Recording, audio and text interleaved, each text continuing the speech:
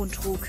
Texte mit Tönen und Tiefen, dazu diffuse Zwischentöne aus Wirtschaft und Workout, Feuilleton und Vermögen, Lebensart und Hedonismus, Mobilität und Natur, Debatte und Kaffeesatz. Die im Alltag geplagten Lauscher erfahren hier weiteren Schall.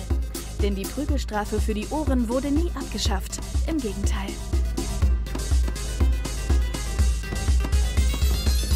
Meinungsmeinung. Der Denkschwache darf nicht auch noch Meinungsschwächling sein. Eine Auffassungsschwäche einer Auffassung nicht entgegenstehen. Jeder ist angehalten, mit seinem Dafürhalten dagegen zu halten, sich mit den Gemeinmeinenden gemein zu machen. Ein bisschen muss sein. Eine Ansicht entsteht ohne Ansicht der Gemeinten. Die artikulierte Meinung findet Gehör, wenn man dazu noch meint, dass man seine Meinung nicht sagen dürfe. Widersprüche sind kein Problem, solange widersprochen wird. Wer sein Oberstübchen demoliert hat, vermag mit Hilfe kaputter Gedanken auch die Außenwelt zu zerstören.